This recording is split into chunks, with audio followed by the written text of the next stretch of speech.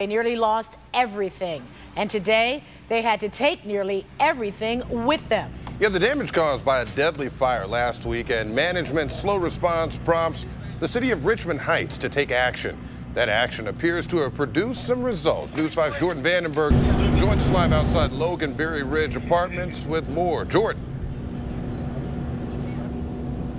Well, late last night, the city issued this evacuation order to the management company that runs this complex after a fire last week gutted the third floor of Building F here. There's about 70 units in total. But just a few hours after this, this order went into effect, the city pulled the order because it appears management heard the message loud and clear.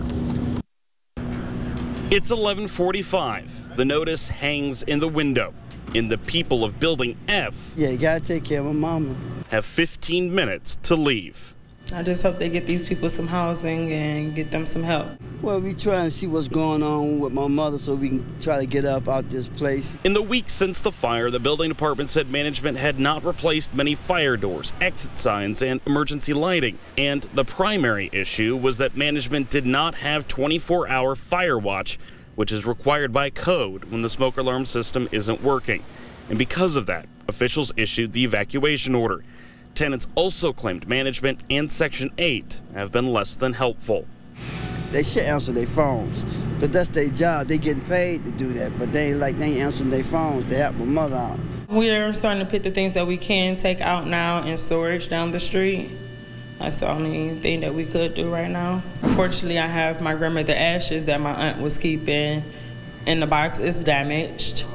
So now we have to find something else to put her in. Later this afternoon, officials pulled the evacuation order as it appeared management had finally started working on repairs. Contractors were going in and out of the building. Building officials say they will do follow up inspections through the weekend to make sure repairs are progressing.